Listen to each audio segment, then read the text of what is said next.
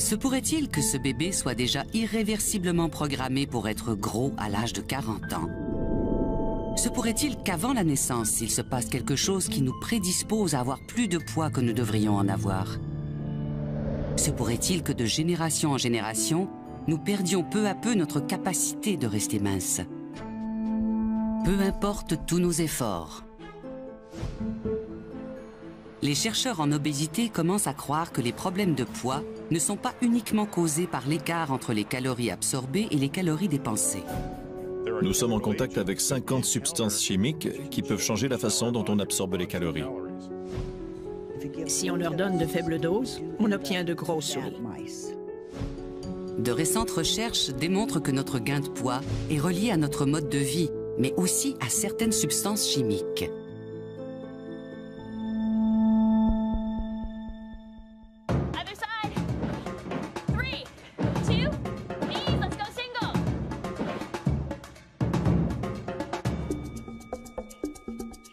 Fait de l'exercice et on suit des régimes avec beaucoup de détermination.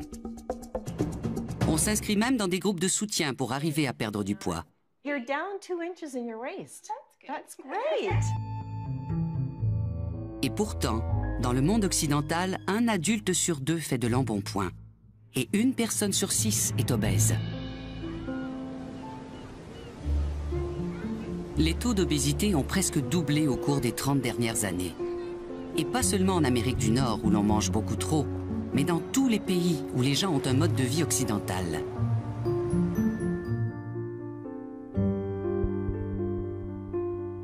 Depuis l'an 2000, les experts en obésité du monde entier essaient de comprendre une tendance assez étonnante.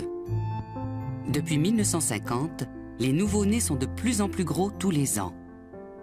Dans leur cas, on ne peut pas dire que c'est parce qu'ils ont une mauvaise alimentation ou qu'ils ne font pas assez d'exercice. On a observé la même tendance chez les animaux qui vivent à proximité des humains.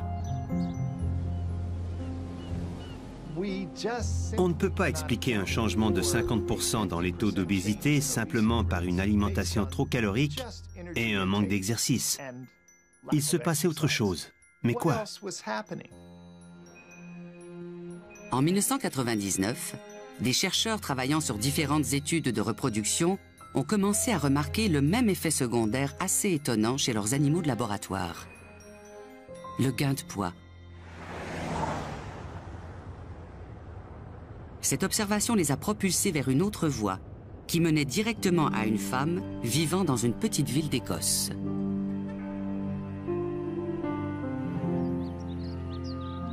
Nous sommes à Callender, à l'orée Highlands. Paula Bailey Hamilton vit tout près de cette petite ville avec son mari et ses quatre enfants. So what are we going to call her puppies? Diplômée en médecine de l'Université d'Oxford, cette spécialiste du métabolisme a entrepris en 1998 un projet de recherche personnelle assez remarquable. Après la naissance de mon deuxième enfant, je n'arrivais pas à maigrir et j'en avais assez de porter les vêtements de mon mari, ses jeans et tout le bazar. J'ai essayé toutes sortes de régimes, mais je ne perdais pas de poids. La plupart des gens auraient fait de l'exercice. Paula Bailey Hamilton, elle, a fait de la recherche. J'ai lu un article portant sur les substances chimiques qui se trouvent dans notre environnement et qui ont des effets sur la flore et la faune. Elles agissent un peu comme de fausses hormones féminines. L'article portait sur les problèmes de reproduction, mais Paula Bailey Hamilton s'est tout de suite demandé s'il pouvait y avoir un lien entre ces substances chimiques de synthèse et son incapacité à perdre du poids. J'étais stupéfaite. J'étais une universitaire de haut niveau. J'étais médecin, je venais d'obtenir un doctorat de l'université d'Oxford et je n'avais jamais entendu parler de ces substances chimiques qui se trouvent dans notre environnement. Je trouvais ça incroyable qu'elles puissent causer des problèmes hormonaux. Je suis allée chercher un manuel dans ma bibliothèque pour voir si je pouvais trouver des passages traitant de l'effet des hormones féminines sur notre poids. Pouvait-elle causer l'embonpoint et l'obésité Et j'ai trouvé.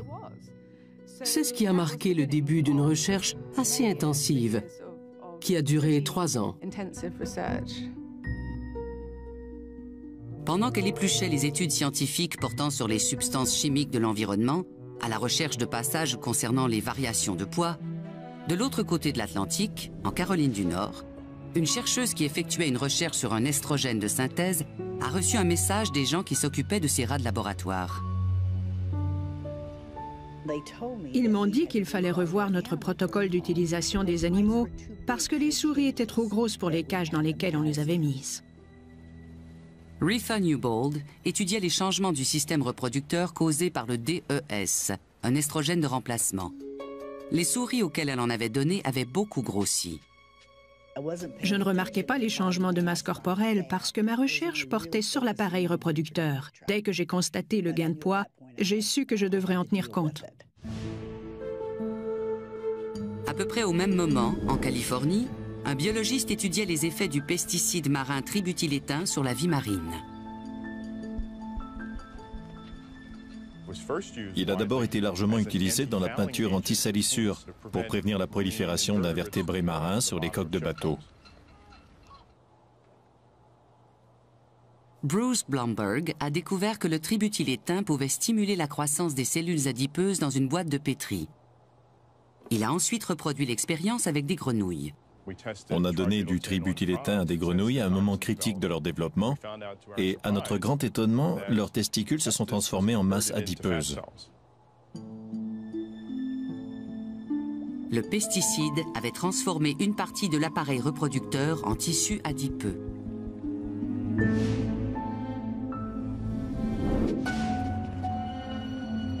Dans les années 90, à l'Université du Missouri, l'endocrinologue Fred Saul étudiait une autre substance chimique, le bisphénol A.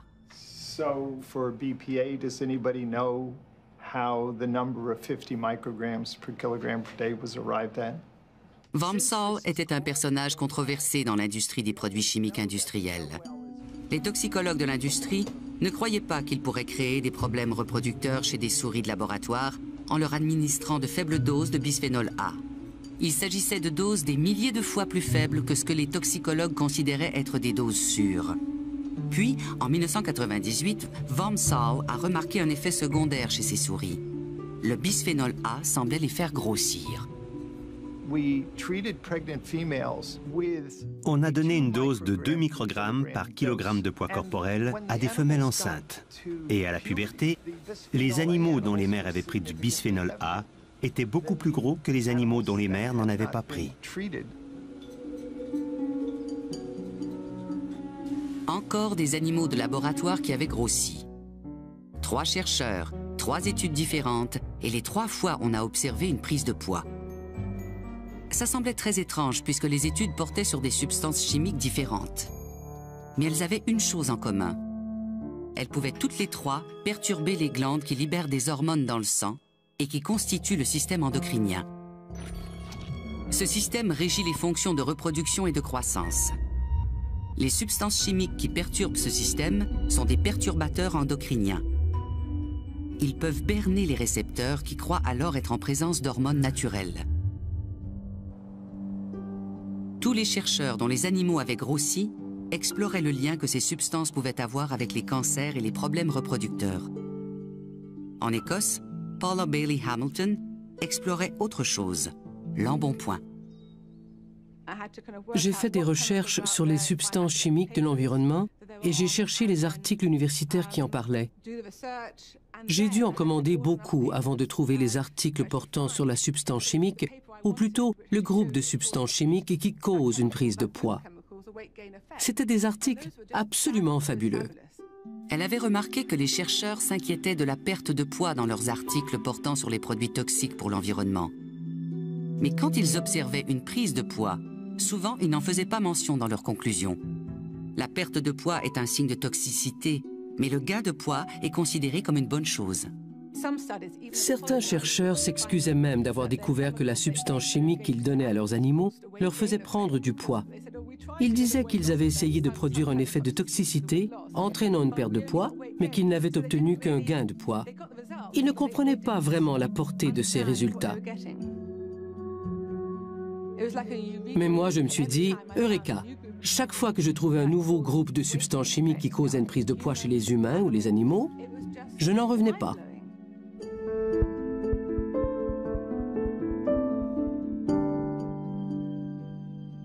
En 2002, Bailey Hamilton publiait dans The Journal of Alternative and Complementary Medicine un article intitulé Les toxines chimiques, une étude pour tenter de comprendre l'épidémie mondiale d'obésité.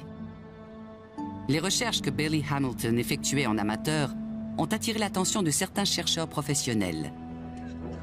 Jerry Hangdell, le patron de Retha Newbold à l'Institut national des sciences de l'environnement et de la santé des États-Unis, avait déjà entendu parler de ces souris qui faisaient de l'embonpoint. Au bout de 90 jours, elles étaient énormes. Après trois ou quatre mois, elles étaient deux fois, même trois fois plus grosses que des souris normales. Mais à l'époque, je n'y avais pas prêté attention. Paula Bailey Hamilton a publié un article dans lequel elle suggérait, en fait, elle avançait l'hypothèse selon laquelle notre exposition à des substances chimiques de l'environnement pouvait jouer un rôle dans l'épidémie d'obésité. Elle a avancé l'hypothèse des toxines chimiques et on s'est dit, oh mon Dieu, ça se tient. Comme Paula Bailey Hamilton n'était pas une chercheuse scientifique, son article a été publié dans une revue de médecine alternative, pour laquelle les chercheurs scientifiques n'avaient pas un grand respect.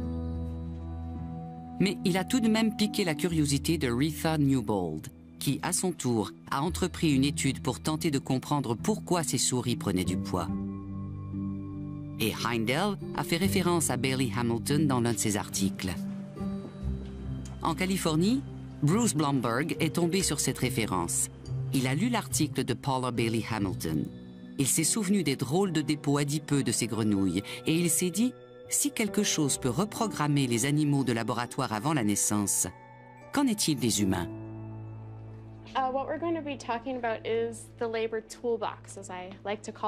Au 21e siècle, la plupart des couples sont conscients des dangers que constituent les substances chimiques pendant la grossesse.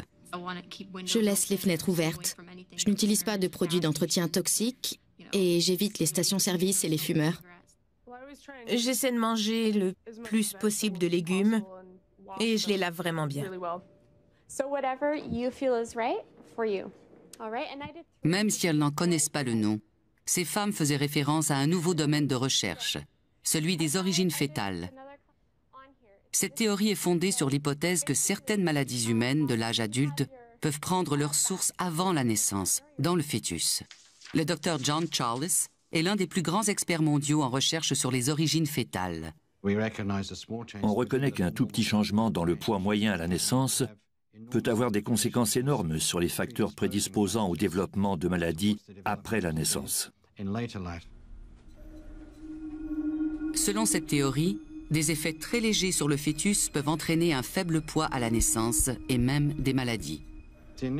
Les premiers travaux portaient sur les maladies cardiovasculaires, les maladies du cœur. On a reconnu qu'il existait un lien entre un faible poids à la naissance et l'hypertension artérielle, les AVC, les décès dus à des cardiopathies, ainsi que l'obésité et le diabète de type 2.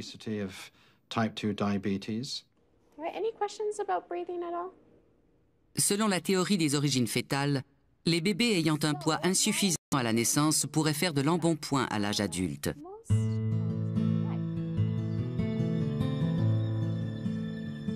Grâce à ses premières études, Bruce Blomberg connaissait la théorie des origines fétales et les effets des substances chimiques sur le développement du fœtus. En 1996, j'ai entrepris des recherches sur les perturbateurs endocriniens. Ma femme était enceinte et à partir de ce moment-là, on a commencé à surveiller notre alimentation. Ma fille ne mange pratiquement que des aliments biologiques. On fait de notre mieux, mais on ne peut pas éviter complètement d'être exposé à des substances chimiques, puisqu'il y en a partout.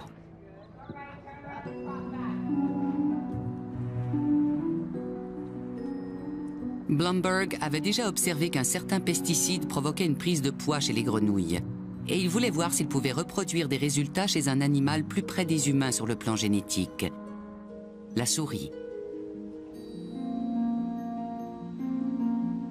L'équipe de Blomberg a donc administré de faibles doses de tributylétain à des souris enceintes. Puis, Blomberg a attendu. Si les souris donnaient naissance à de gros bébés, y aurait-il lieu de s'inquiéter pour les bébés humains?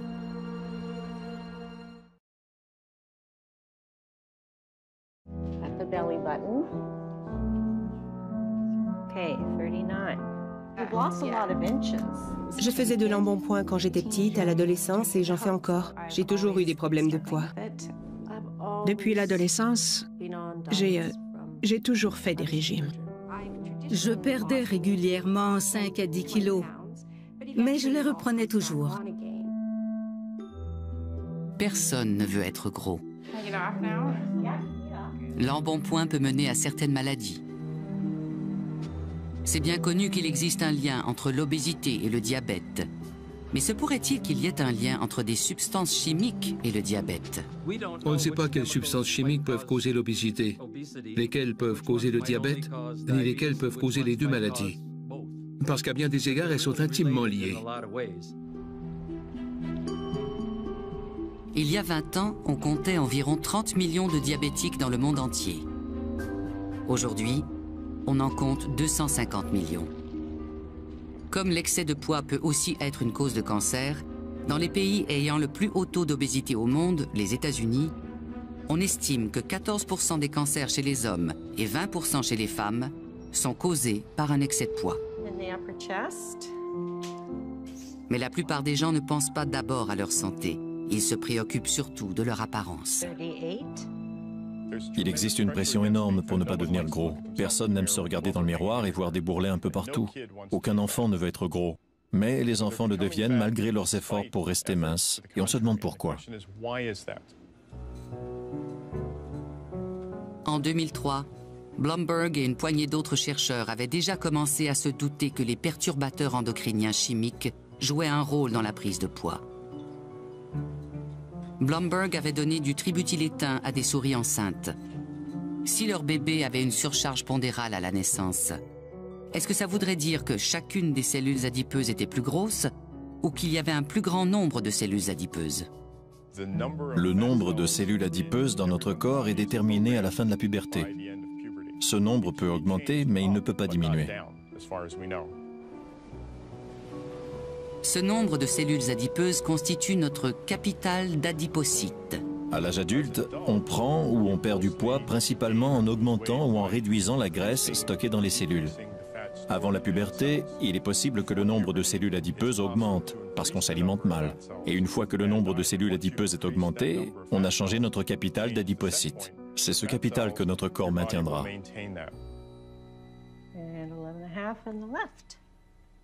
Donc, une fois la puberté terminée, il semble que plus rien ne puisse modifier le nombre de cellules adipeuses dans notre corps. La taille des cellules peut diminuer ou augmenter, mais il semble qu'on ne puisse plus en changer le nombre.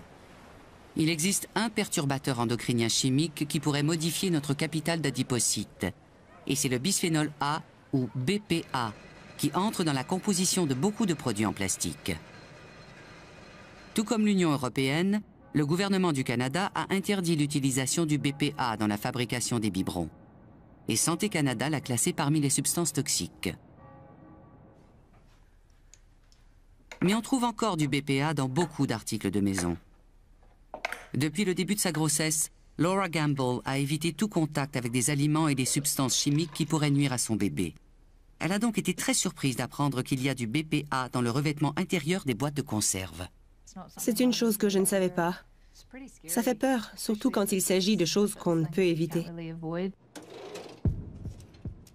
Comme les reçus de caisse. On peut trouver 500 microgrammes de bisphénol A sur la main d'une personne qui vient de tenir un reçu de caisse. Bien que le BPA ne reste que 6 heures dans l'organisme, en tout temps, il y a une minuscule quantité de bisphénol A qui circule dans le sang de 90% des Nord-Américains. C'est la plus répandue de toutes les substances chimiques qui peuvent perturber le système endocrinien. Au cours de ses premières études, Vomsal a donné à des souris des doses de BPA équivalentes à la quantité qu'une personne risque d'absorber quotidiennement, 2 microgrammes par kilogramme de poids corporel par jour. Avant ces études, la dose la plus faible était de 50 000 microgrammes par kilogramme par jour. On fait extrêmement peur à la communauté réglementaire qui avait établi que la dose de 50 000 microgrammes était sûre et était de beaucoup supérieure à celle qu'on utilisait dans nos études.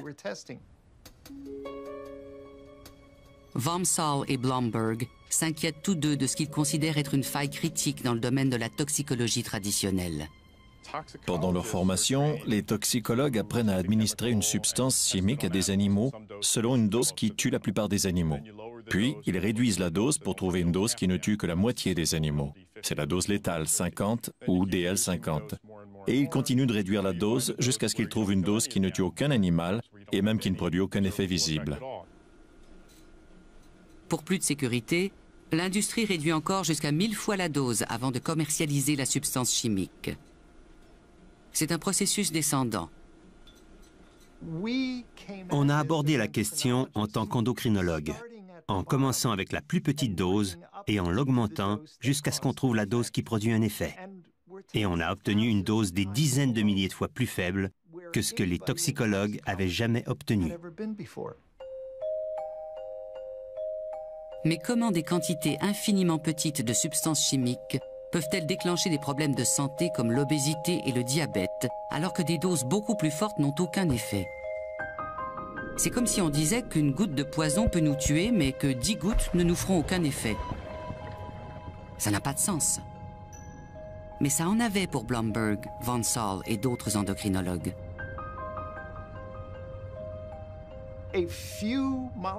Quelques molécules d'hormones à très faible dose s'attachent à leurs récepteurs et stimulent la cellule pour qu'elle produise plus de molécules d'hormones et devienne plus sensible à cette hormone. En augmentant la concentration, on finit par atteindre la saturation. Et on ne peut plus susciter de réaction parce qu'on a épuisé tous les récepteurs disponibles. Toutefois, à un pourcentage de saturation d'à peu près 50%, les gènes qui pourraient produire plus de récepteurs deviennent inactifs et d'autres gènes qui inhibent la réaction s'activent. Sans ces médiateurs de réaction, ces sites d'amarrage, les hormones ne peuvent plus rien faire et la réaction disparaît. On a découvert qu'en quantité minuscule, certaines substances chimiques pouvaient avoir un effet sur le système endocrinien des animaux de laboratoire, alors qu'en plus grande quantité, elles n'ont aucun effet. Mais l'industrie chimique n'y croyait pas. Elle a commandé ses propres études, mais n'a pas pu reproduire ces effets indésirables lors d'expériences à faible dose. Les études à faible dose sur les animaux sont très difficiles à réussir, et les organismes de santé ne savaient pas qui croire.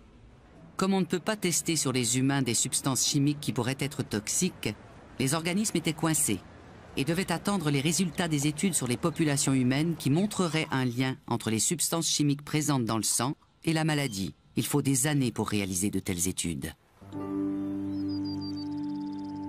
En Écosse, Paula Bailey Hamilton ne se souciait pas des protocoles scientifiques. L'année où son article a été publié, elle avait déjà écrit deux livres dans lesquels elle faisait des mises en garde concernant les effets engraissants des perturbateurs endocriniens. Je voulais tout rassembler dans un seul livre, très bien documenté, que tout le monde, même les gens qui ne sont pas des universitaires, pourraient lire et comprendre. Ainsi, ils auraient la possibilité de changer des choses dans leur vie. Dans ses livres, Paula Bailey Hamilton recommandait de débarrasser l'organisme et la maison d'un grand nombre de substances chimiques d'usage courant. Mais elle était très en avance sur la science. Ce n'est qu'un an plus tard que Vom Saul a ajouté la prise de poids à sa liste des effets probables du BPA. Et ce n'est que deux ans plus tard, en 2004, que Newbold a pu observer les résultats de son étude portant sur l'obésité chez les souris à qui elle avait donné de l'estrogène. À la puberté, elles avaient toutes un surplus de poids. Certaines substances donnaient des souris assez petites à la naissance et qui devenaient toutes obèses plus tard. Mais quand j'ai recommencé, en variant les doses, j'ai obtenu des souris qui avaient le même poids que les autres à la naissance, et même ces souris de même poids à la naissance finissaient toutes par devenir plus grosses. Et en 2005, Blomberg avait les résultats de son étude sur des souris. Les animaux étaient plus gros à la naissance et ils sont devenus encore plus gros plus tard dans la vie. C'étaient des souris qui pouvaient faire de l'exercice de façon normale et qui mangeaient les mêmes aliments en même quantité que les souris qui n'avaient pas été exposées. et ces souris deviennent de 10 à 15% plus grosses à l'âge adulte. Les résultats de l'étude de Blomberg étaient assez concluants pour qu'il décide que les substances telles que le tributylétain méritaient d'avoir leur propre appellation. Et il en a choisi une qui en dit long. Les substances obésogènes. Jusqu'à ce moment-là, tout le monde le disait, tous les médecins, ou du moins mon médecin le disait, on devient gros parce qu'on mange trop, et il n'y a pas d'autre cause. Cette étude a montré que certaines substances chimiques avec lesquelles on est en contact peuvent modifier la façon dont notre corps absorbe les calories. Mais se peut-il que de minuscules quantités de substances obésogènes aient le même effet sur des populations entières? Il n'y avait qu'une seule façon de le découvrir. Il fallait mesurer des populations entières. Ces études portant sur des centaines de milliers de personnes dans le monde entier sont actuellement en cours.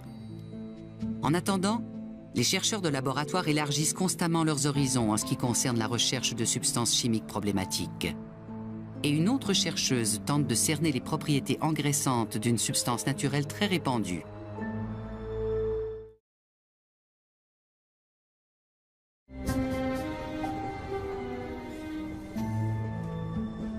Est-il possible que ces substances chimiques causent l'obésité? Absolument. Est-ce démontré sans équivoque? Non. Alison Holloway est en route pour Montréal, où elle doit prendre part à une rencontre réunissant les plus grands toxicologues canadiens. Il sera question du lien entre les substances chimiques de l'environnement introduites dans l'utérus pendant la grossesse et les maladies développées plus tard dans la vie. Holloway s'intéresse surtout au lien entre les perturbateurs endocriniens et l'obésité. Mais la substance chimique qu'elle étudie n'est pas synthétique. And I know a lot of people that I know who smoke, they said, you know, I didn't want to smoke while I was pregnant because it sucked. Right. And I felt sick. And the minute that baby was born, they were like, back up again. So. Le perturbateur endocrinien d'Holloway est la nicotine. Au début de mes recherches dans ce domaine en 2004, des études épidémiologiques laissaient entendre que les bébés nés de mères fumeuses risquaient davantage de devenir obèses. Il est bien connu que les femmes qui fument pendant la grossesse ont des bébés de faible poids. Mais selon la théorie des origines fétales, à cause d'un phénomène de rattrapage, ces enfants pourraient faire de l'embonpoint plus tard dans la vie. Si on associe le tabagisme pendant la grossesse à un faible poids à la naissance, on devrait aussi pouvoir l'associer à un risque plus élevé d'hypertension, de diabète et d'obésité. À l'université McMaster, Holloway fait des tests sur des rats. On leur donne 1 mg de nicotine par kilo de poids corporel par jour en injection, ce qui produit des taux de cotinine, le principal métabolite de la nicotine dans le sang du rat, qui correspondent aux taux observés chez des fumeurs modérés. Les rats sont plus gros et ils le sont aussi dans les autres laboratoires où l'on fait des tests avec la nicotine. On a produit des données qui démontrent que la nicotine agit directement sur les cellules bêta qui sécrètent l'insuline dans le pancréas. Ce qui perturbe le système endocrinien. Si l'hypothèse des substances obésogènes se vérifie, il se pourrait que la nicotine figure dans la liste des substances coupables. Il y a environ 20 substances chimiques que l'on croit être obésogènes. On peut les trouver dans des centaines de produits d'usage courant, allant des boîtiers d'appareils électroniques, aux cols dentaires et aux produits d'entretien, sans oublier les herbicides, les pages couvertures des magazines, les produits capillaires, les tapis et les cafetières. Hi, Tina. Hi, how are you? I'm good. Ces substances chimiques sont mesurées dans les liquides corporels de volontaires et de leurs enfants dans le cadre de larges études effectuées dans le monde entier. Since visit one, have you had any mercury silver dental fillings replaced? No. Les chercheurs suivent ensuite l'état de santé des participants pendant de nombreuses années. C'est la seule façon sûre de découvrir les effets sur les êtres humains. Have you ever been exposed to coal products from hot asphalt or tar roofing material? No. Okay, and how frequently? Tina Iacobucci est l'une des 2000 femmes qui participent à une étude canadienne portant sur les substances chimiques de l'environnement et les effets qu'elles peuvent avoir sur les nouveau-nés. Fresh oil-based paint? No. Je fais tout ce que je peux pour ne pas m'exposer à des produits toxiques pour l'environnement. Mais je sens qu'on ne peut pas faire autrement qu'être en contact avec certains produits. Et je voulais savoir à quoi j'étais exposée.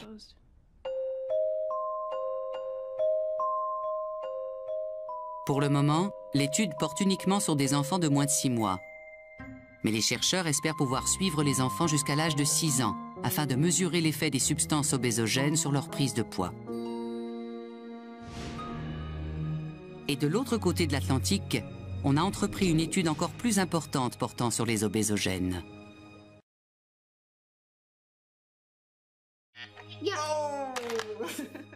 Je ne connaissais rien aux problèmes d'obésité ni à leur lien avec les substances chimiques quand Diana est née. C'était il y a quatre ans. Juliette Legler élève ses deux enfants dans la petite ville d'Apeldoorn à une heure d'Amsterdam.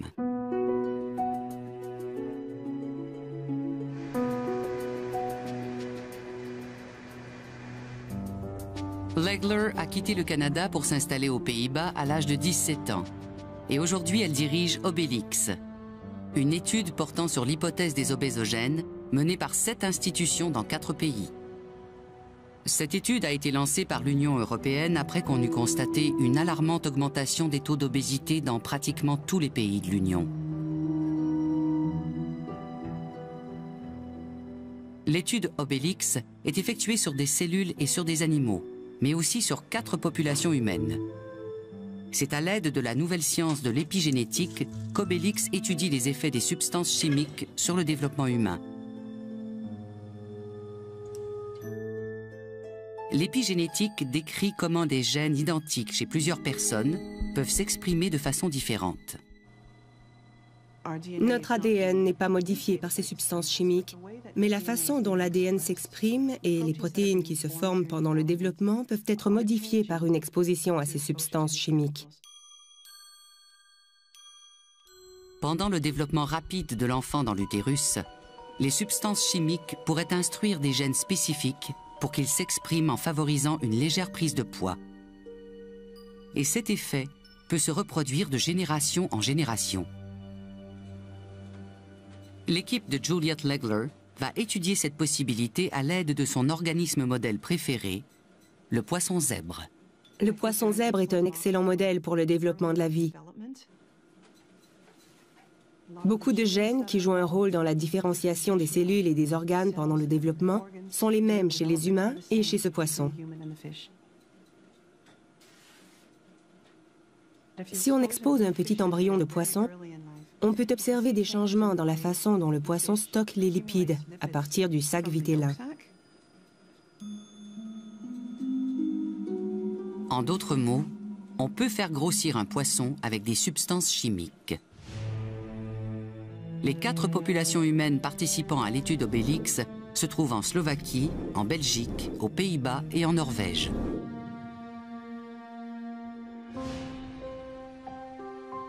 On connaît depuis longtemps les saines habitudes de vie des Norvégiens.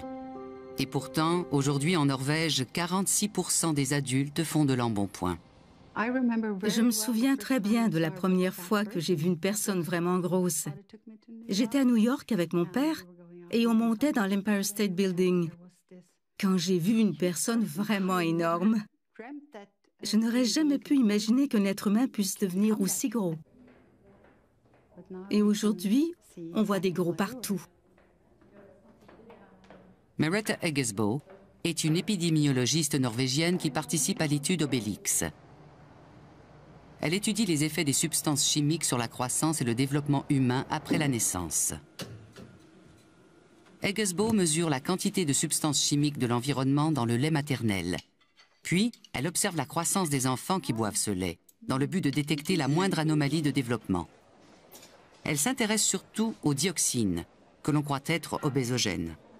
Les dioxines ont une longue durée de vie et elles sont stockées dans la graisse des poissons. Les Norvégiens mangent beaucoup de poissons et on trouve des dioxines dans le lait maternel. Pour mesurer les taux de dioxine, il faut avoir beaucoup de lait parce qu'elles sont présentes à de très faibles concentrations. On a demandé 200 ml de lait aux mères.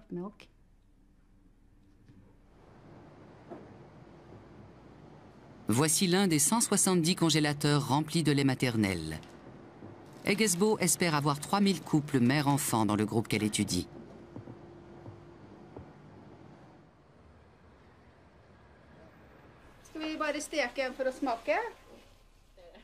L'un des couples mère-enfant de l'étude est celui de Siri Tom, la sœur d'Eggesbo, et de son fils Sandra.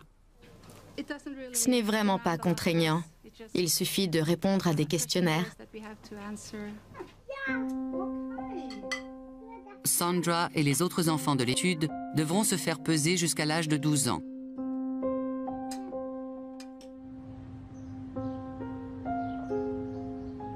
Eggesbo a elle-même trois enfants et la plus jeune vit toujours à la maison. J'ai entendu parler des substances chimiques de l'environnement un an après sa naissance. J'aurais sans doute fait bien des choses différemment. Il y a beaucoup de substances chimiques en usage dans l'Union européenne, plus de 100 000. Et personne ne vérifie si elles peuvent faire du tort aux enfants, si elles peuvent causer des troubles développementaux ou neuropsychologiques. On ne fait aucun test.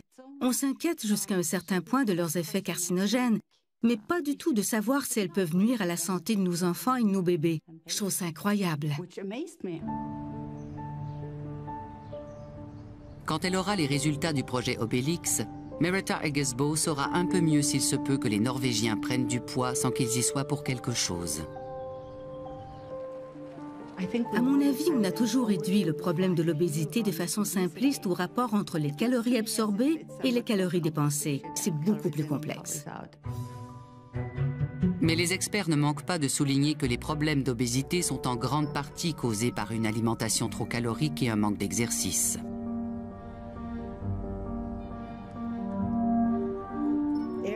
Tout le monde reconnaît le fait que l'alimentation et l'exercice jouent un rôle dans les problèmes d'obésité et de diabète. Je ne doute absolument pas qu'il s'agisse de deux facteurs très importants. Ce fait n'a pas changé. Mais ce qui a changé, c'est que les substances chimiques de l'environnement jouent aussi un rôle, qui s'ajoute au rôle de l'alimentation et de l'exercice.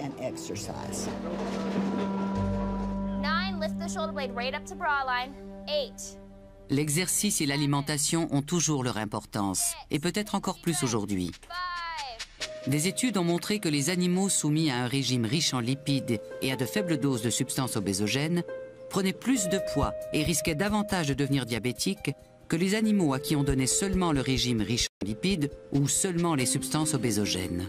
En d'autres mots, les substances chimiques peuvent multiplier les effets d'une mauvaise alimentation. L'un des aspects fondamentaux du rôle que jouent les substances chimiques sur ces maladies est qu'elles interagissent avec tous les autres éléments des habitudes de vie de la personne. Blomberg croit même que les substances chimiques pourraient avoir d'autres effets sur nous à l'âge adulte, tout comme pendant notre développement. Nos cellules adipeuses pourraient être programmées de façon à se remplir plus que d'ordinaire. Et les substances chimiques pourraient retarder la sensation de satiété. Chez les mammifères, l'appétit et la satiété sont contrôlés par des hormones. Et en principe, il est fort possible qu'une substance chimique puisse accroître ou réduire l'appétit. Après huit années passées à amasser des preuves sur l'existence des substances obésogènes, Jerry Heindel a invité les plus grands experts du domaine en Caroline du Nord à la toute première rencontre internationale. Juliette Legler est venue des Pays-Bas. Retha Newbold est arrivée. Alison Holloway arrive de Hamilton. Et Bruce Blomberg, présent lui aussi, a une nouvelle raison de s'inquiéter. Il croit avoir trouvé une nouvelle substance obésogène et elle est très répandue.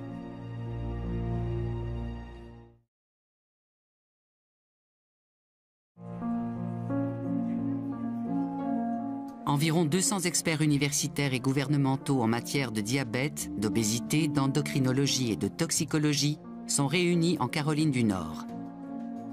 Ils vont discuter de l'urgente nécessité d'effectuer des expériences portant sur les substances obésogènes.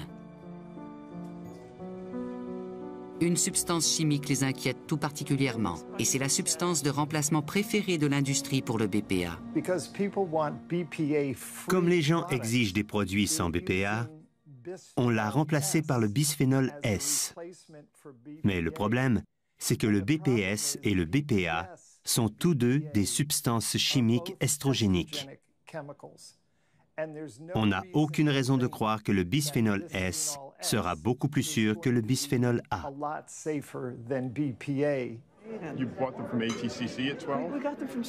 Blomberg effectue des recherches sur une autre substance qui pourrait être obésogène et qui est très répandue. L'usage de cette substance chimique est très répandu dans les emballages alimentaires. Elle transforme les cellules souches en cellules adipeuses, mais on ne sait pas de quelle façon. Pour faire en sorte qu'on arrête de tester après leur commercialisation les substances chimiques qui pourraient être nocives, Blomberg participe à l'élaboration d'un processus de certification des produits chimiques industriels. Et les organismes scientifiques travaillent à l'élaboration d'un nouveau protocole d'essai révolutionnaire. Il inclut l'usage de robots capables d'analyser des milliers de réactions chimiques en une journée. On pourra donc tester les nouvelles substances chimiques très rapidement, très tôt, et selon une très large gamme de doses, pour faire en sorte que de nouveaux perturbateurs endocriniens n'apparaissent pas dans nos vies. Mais en attendant, quelles sont les meilleures précautions à prendre? On recommande aux femmes enceintes d'avoir une saine alimentation et d'éviter le plus possible d'entrer en contact avec des substances chimiques, afin que la prochaine génération n'ait pas à subir les mêmes problèmes. Et peut-être qu'on arrivera à enrayer l'épidémie d'obésité.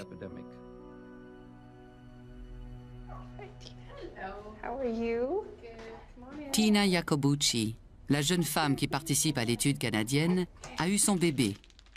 Et elle ajoute du lait maternel aux échantillons qui doivent être analysés pour voir s'ils contiennent des substances chimiques de l'environnement. Il y a déjà 20 substances que l'on croit être obésogènes. Et il pourrait y en avoir encore plus.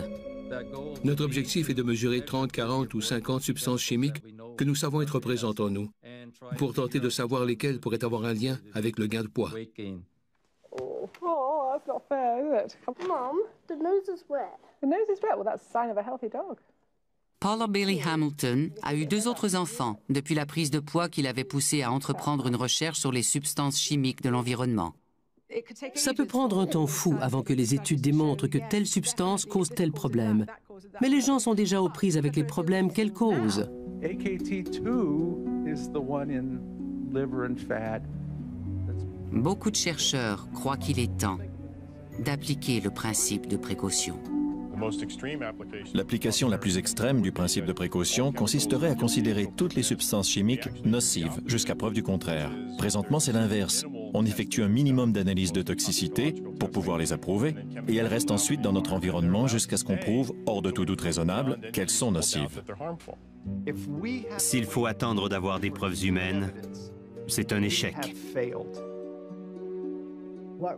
L'exposition à ces substances chimiques pendant le développement fait en sorte que les gens sont programmés pour devenir obèses. Et c'est un phénomène qui va se reproduire de génération en génération. Je trouve qu'il y a vraiment lieu de s'inquiéter. Il faut se concentrer sur la prévention.